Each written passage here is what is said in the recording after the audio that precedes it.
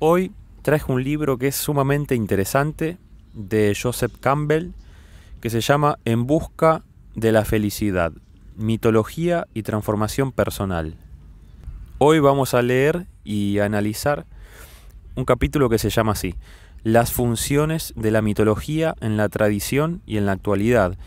Y claramente va a hablar de eso, y por eso me parece muy interesante. ¿Cuál es, cuál es la función de la mitología, para qué sirve, para qué está ahí, en qué nos ayuda personalmente y como humanidad. Y empezamos a leer. La primera función consiste en despertar al individuo a la sensación de pasmo, sobrecogimiento y gratitud hacia el misterio último del ser. Acá ya vemos cómo nos conecta con esa parte misteriosa, con esa parte profunda, con esas cosas que están más allá de lo evidente. Las antiguas tradiciones, las más arcaicas, ponían el énfasis en la aceptación del mundo tal como es.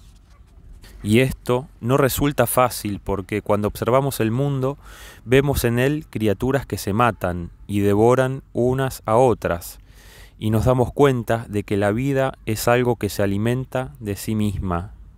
Acá nos enfrenta de inmediato con el terror ¿no? que causa la vida. Vivimos una vida que justamente se alimenta de sí misma, porque para que la vida perdure, tiene que comer. Y en el acto de comer es el acto de matar, de, de absorber esa vida que, que hay en otra cosa. Por ejemplo, comemos un vegetal y de alguna manera estamos absorbiendo esa vida que se encontraba en ese vegetal y ahora está en nosotros. Y gracias a eso podemos seguir viviendo. El día que dejemos de alimentarnos, vamos a morir. Sigamos. Hay quienes no pueden soportar ese canibalismo y reaccionan espantados diciendo, yo no participaré en ese juego. Este es el cambio de mentalidad al que he denominado gran inversión y que tuvo lugar históricamente hablando en torno al siglo VI a.C., con la afirmación del Buda de que la vida es sufrimiento, pero hay una forma de salir del sufrimiento. No quiero jugar. Muy bien, expulsado. Coge tu bate y tu pelota y ya puedes irte a casa.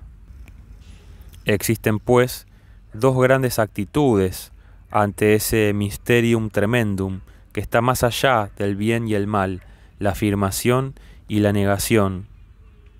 Bueno, entonces, para hacer un repaso, la primera función del mito es acercarnos a esa parte misteriosa del universo, a esa parte misteriosa de la vida, a la que muchas veces no tenemos respuestas, no comprendemos, Venimos a un mundo donde pasan cosas muy extrañas, difíciles de, asimilar, y entonces el mito nos da una explicación, nos intenta explicar mediante relatos de ficción, porque el mito no pretende ser ciencia, sino que son relatos, y estos relatos nos permiten dar un significado a este mundo tan misterioso en el que habitamos.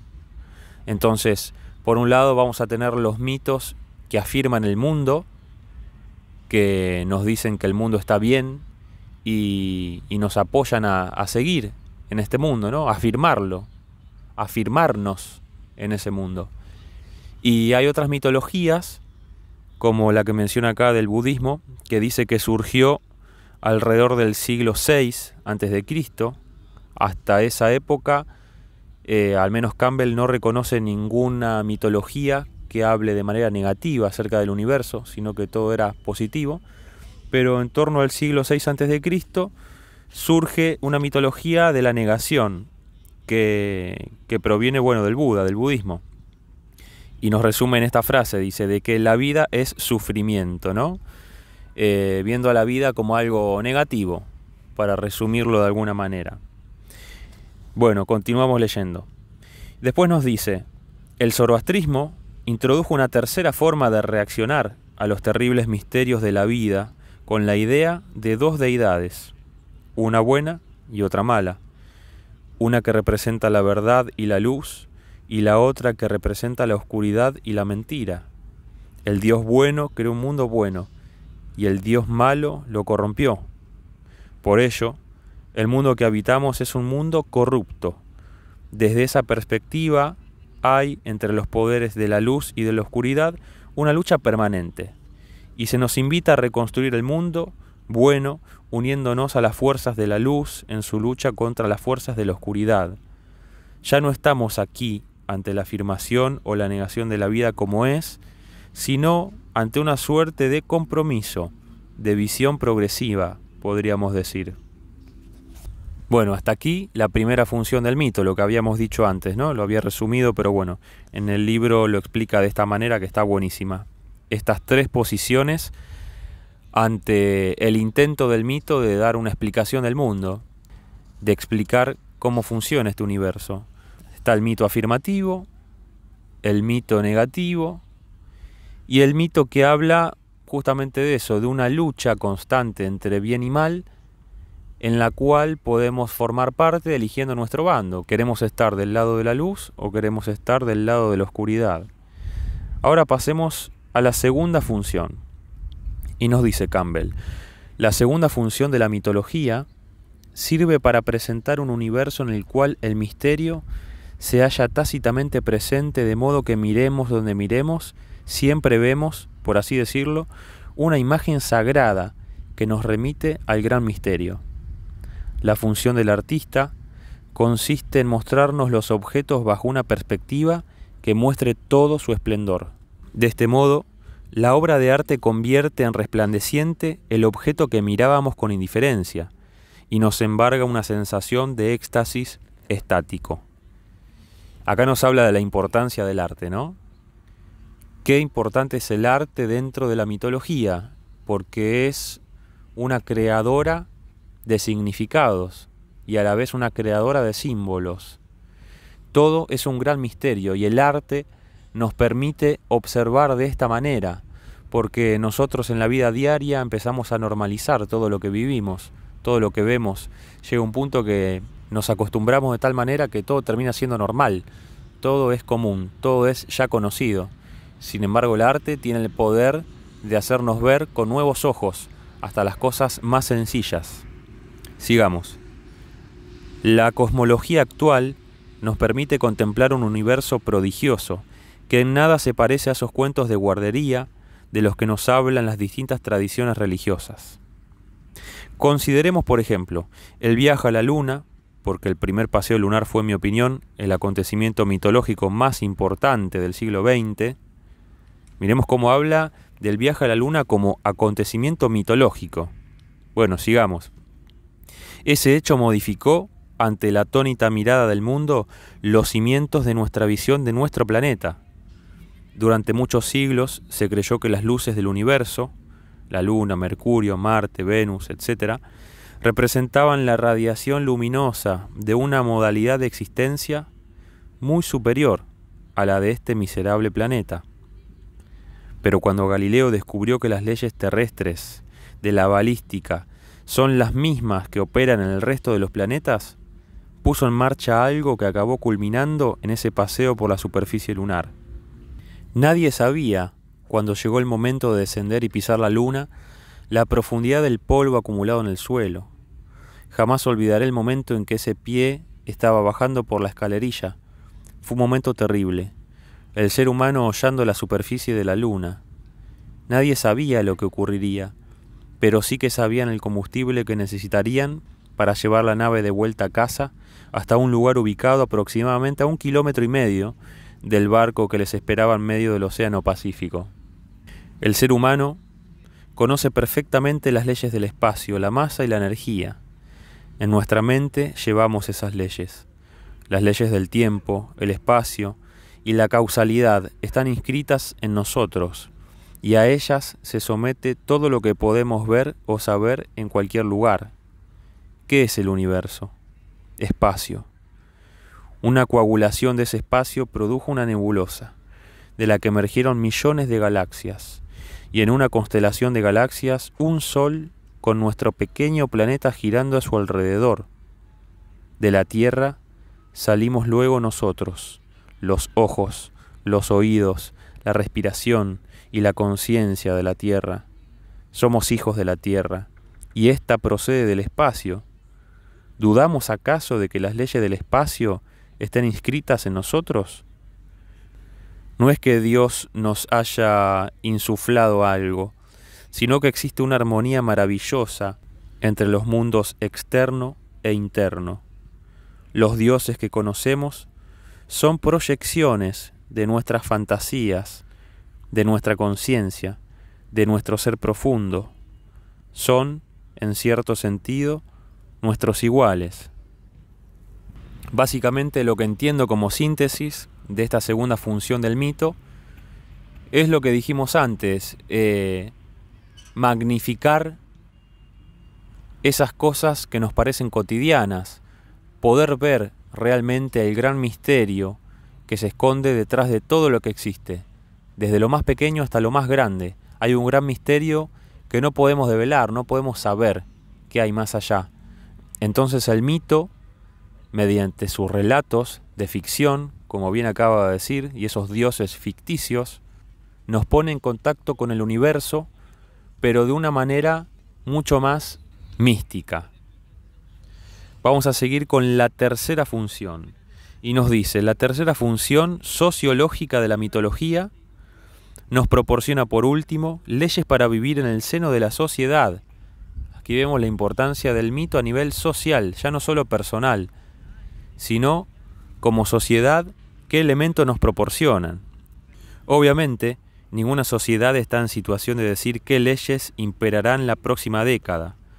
Todo lo que creíamos bueno ha resultado ser problemático, como evidencia la crisis ecológica a la que actualmente nos enfrentamos.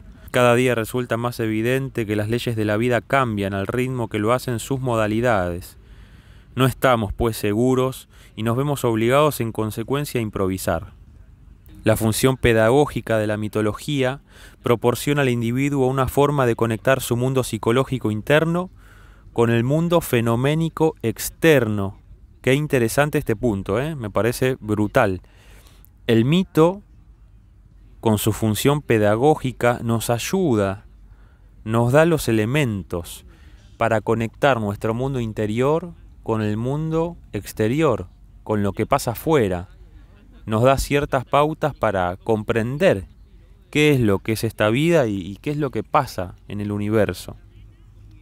La pedagogía de las tradiciones que hemos heredado ya nos nos sirve y tenemos en consecuencia que elaborar la nuestra propia, Tuve una experiencia muy divertida en cierta ocasión, dando una conferencia, donde hablé de la visión de Dante de las edades del ser humano, que explica el gran ciclo de la vida apelando a un modelo astrológico. Dante compara la vida con el tránsito diario del Sol y esboza la existencia de cuatro edades diferentes. La primera es la infancia, que dura hasta los 25 años y se caracteriza por la obediencia, el pudor, la belleza corporal y la suavidad. Esa es la mañana.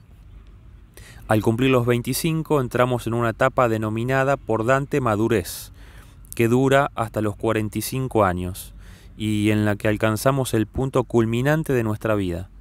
Los valores atribuidos a esta etapa son los característicos de la caballería medieval, es decir, la templanza, el valor, el amor, la cortesía y la lealtad. Después de haber vivido en función de las exigencias de la sociedad, llega un momento en el ecuador aproximado de nuestra vida, en torno a los 35 años, en donde contamos con la experiencia de lo que se nos enseñó. Entonces es cuando estamos en condiciones de enseñar. Este es el mediodía. Dante llama edad de la sabiduría al periodo comprendido entre los 35 y los 70 años. En la India, los sabios se retiran al bosque, pero no sucede lo mismo en Occidente. Lo que aquí esperamos es que los ancianos permanezcan en la sociedad, observando con su ojo crítico y compartiendo el beneficio de su experiencia. Esta es una etapa que se caracteriza por la sabiduría, la justicia, la generosidad y el humor esta es la tarde. A partir de los 70 llegamos a lo que Dante llama decrepitud, una etapa en la que miramos retrospectivamente nuestra vida con gratitud. A partir de los 70 llegamos a lo que Dante llama decrepitud, una etapa en la que miramos retrospectivamente nuestra vida con gratitud y consideramos la muerte como el retorno a nuestro hogar. Esta es la noche. Este pequeño esquema, esta pauta vital, es el mito. En cualquier caso, cuando acabé mi conferencia, se me acercó una chica y me dijo muy seria, Oh, señor Campbell, usted no sabe nada de las generaciones modernas. Nosotros pasamos directamente de la infancia a la sabiduría. Eso me parece muy bien, pero lamento que se pierdan ustedes así la vida, le respondí. Lo que quiero decir es que descubrir nuestro mito equivale a encontrar nuestra pasión y nuestro fundamento y saber en qué estadio de la vida nos hallamos. Los problemas de los jóvenes no son los mismos que los de los mayores. No tratemos de vivir nuestra vida antes de tiempo.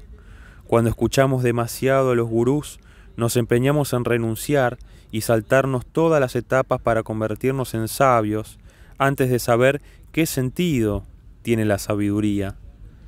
A la sabiduría, como a tantas otras cosas, se accede gradualmente. En nuestro cerebro hay unos 18 mil millones de neuronas. No existen dos materias grises iguales, como tampoco hay dos manos iguales ni dos seres humanos idénticos.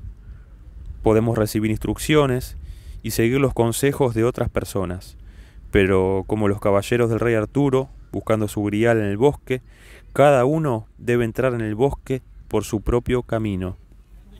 ¿Qué estamos buscando?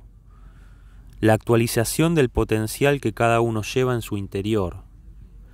Y en modo alguno se trata de un viaje egoísta, sino de la aventura de llevar a su plenitud nuestro regalo al mundo, que somos nosotros mismos.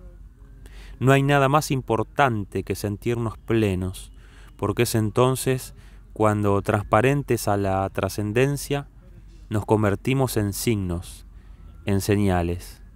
Solo así nos sentiremos vivos y llegaremos a conocer nuestro propio mito personal. Bueno, y hasta acá llega la tercera función del mito, que como había dicho al principio tiene una función sociológica es decir, que marca una cierta estructura, unas ciertas pautas, no es solamente la que menciona acá sobre Dante y el tránsito solar, esa puede ser una simplemente, pero hay muchas más. Por ejemplo, hay otra parte en el libro que habla del tránsito de la luna, en la que también se puede crear un paralelismo con la vida humana en sus distintas etapas. Lo que sí podemos decir es que la vida humana tiene una serie de etapas, tiene una estructura en la que podemos encontrar distintas características. Y esto no significa de que tengamos que cumplir a rajatabla esa estructura y que estemos atados hasta los 35 años, hasta los 45, sino todo lo contrario, nos da unas pautas generales para intentar comprender dónde estamos y hacia dónde vamos.